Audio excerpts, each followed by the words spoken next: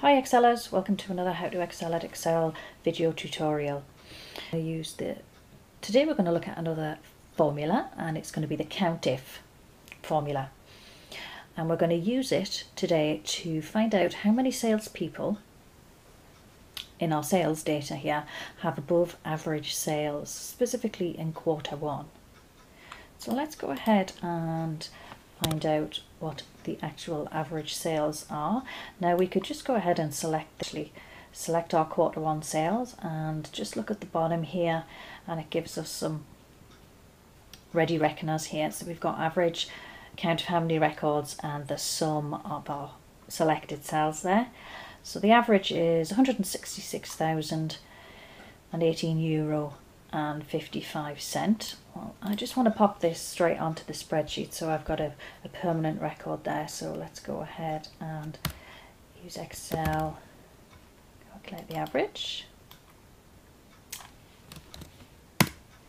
Yeah, as we expected, 166,000 and 18 euro and 55 cent. So what we want to do is want to do is count how many of these sales reps actually have above average sales for that quarter.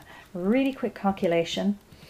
Um, probably quite easy when you have a really small data set, but you know we could have we could have hundreds of sales reps all over the country. So using COUNTIF, uh, we can do that really quickly.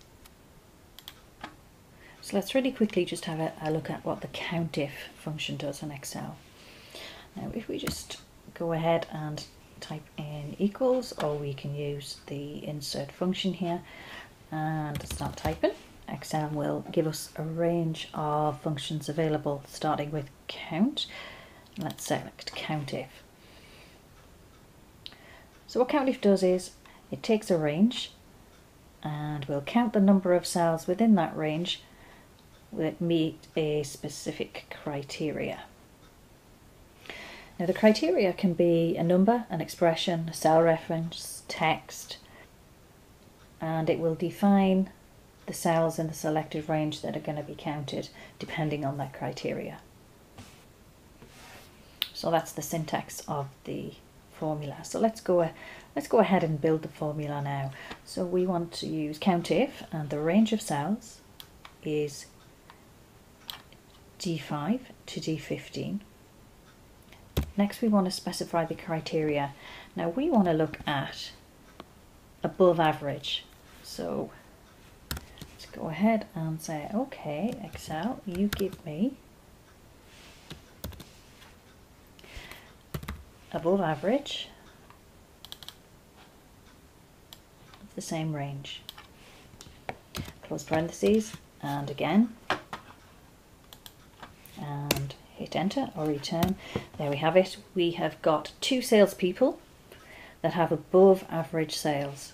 Above sales of 166,000 and 18 euro and 55 cent. So there we have it. Really quick, easy way to count how many people have above average sales in quarter one of our sales data. Okay, thanks for watching. Don't forget to subscribe, thumbs up, leave a comment sign up for the How to Excel at Excel newsletter for three free tips every 15 days and I'll see you next time for another for another How to Excel at Excel video.